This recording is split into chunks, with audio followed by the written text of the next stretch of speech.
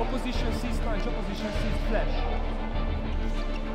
This camp is an opportunity to train with the best, to visit a fantastic island, if you can combine the two, I think it's a, a unique experience.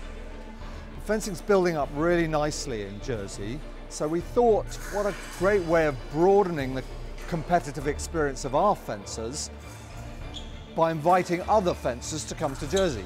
Uh, not only the best coaches in the UK, uh, but coaches who represent some of the best fencing nations in Europe and in, and in the world. It's extremely well organized uh, and extremely convenient in terms of you don't waste time traveling. Everything is there, 20 meters, and we have a place where we have our breakfast, lunch, and our uh, accommodation. We've got 34 visiting fencers. That includes four top coaches from the UK as well. But alongside them, we've got up to 50 of our own fencers from all ages. It's great. And I think it's a great venue. It's really nice coaches. It's all the best, the top ones. And it's not that big, so I think each fencers have a lot of focus and time with the coach.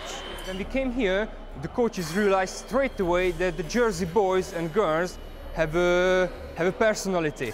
So when we go give any exercise to them, they, they're ready to do it. They, they really have a, a confident personality, which was very surprised us. And I think it's a great basic for Jersey fencing to work on. Uh, yeah, if I was going to encourage more girls to fence, so try and just show them that they're not just going to get beaten up by the boys and it's not as painful as it probably looks on camera. So it's actually a really fun sport to do, especially with your friends.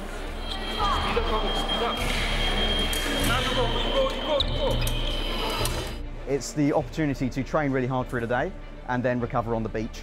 And the, the kayaking was awesome. I really enjoyed that. Like the rock jumping we did isn't something that I'd normally do, and um, I was, to be honest, I was a bit, I was a bit afraid of it. But um, I, I, had a really great time, and the, the accommodation here is amazing.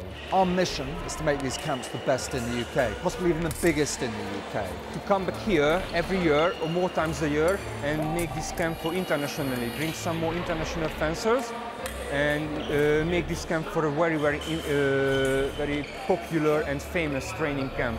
It's a long way, but I think it's going in a really nice way. Because the standard of fencing here is so, so high, really, and the coaching is just so good. And not only in the fencing, but it's like Jersey, it's such a nice country as well. And the accommodation is beautiful. It's really nice.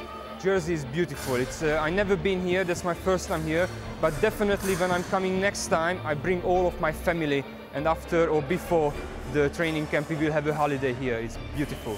Definitely, it's awesome. I really would recommend it. I've had a really good time. Nothing is impossible. You've got to have a dream, vision, and uh, I think uh, Jersey could be could be one of the fencing giants in the kind of in the foreseeing future. Yeah.